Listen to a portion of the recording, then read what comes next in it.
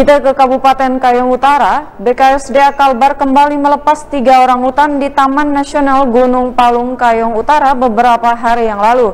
Dilepasnya ketiga orang hutan ini dikarenakan kondisinya sudah cukup membaik pasca dirawat akibat terbakarnya hutan sehingga mengganggu habitat mereka.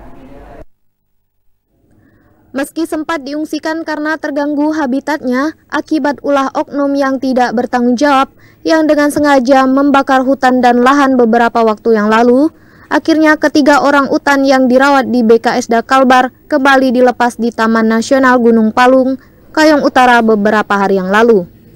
Dokter hewan Iari Ketapang, Adi Irawan mengatakan, setelah mendapatkan perawatan secara berkala, kondisi ketiga orang utan dinilai cukup membaik. Akhirnya dengan berbekal surat medis, ketiga orang utan tersebut bisa dikembalikan ke habitatnya.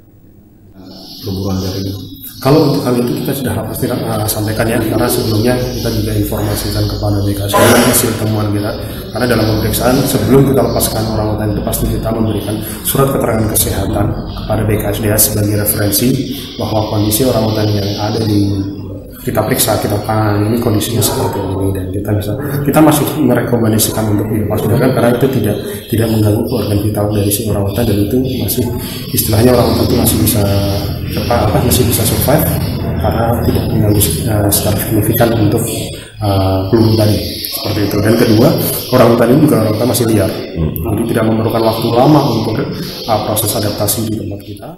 Hal senada juga disampaikan Kepala Balai Konservasi Taman Nasional Gunung Palung Kayung Utara Bambang H, dirinya mengatakan hal ini sebagai bentuk langkah komunikasi dalam penyelamatan orang utan akibat dampak dari konflik dengan karhutla. Ini kita lakukan sebagai bentuk komunikasi kepada masyarakat terkait upaya penyelamatan orang utan yang terken, eh, yang mengalami konflik dengan masyarakat ataupun akibat dampak dari kebakaran hutan dan lahan.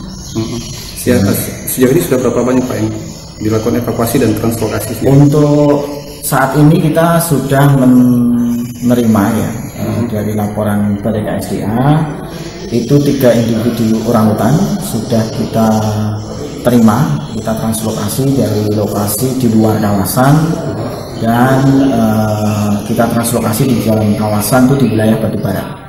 Lebih jauh diharapkan ketiga orang utan ini dapat terus tumbuh berkembang biak sebagaimana mestinya. Hal ini demi menjaga populasi orang utan dari ancaman kepunahan akibat ulah perbuatan manusia yang tidak bertanggung jawab. Dari Kabupaten Kayung Utara, Yulan Mirza Pon TV memberitakan.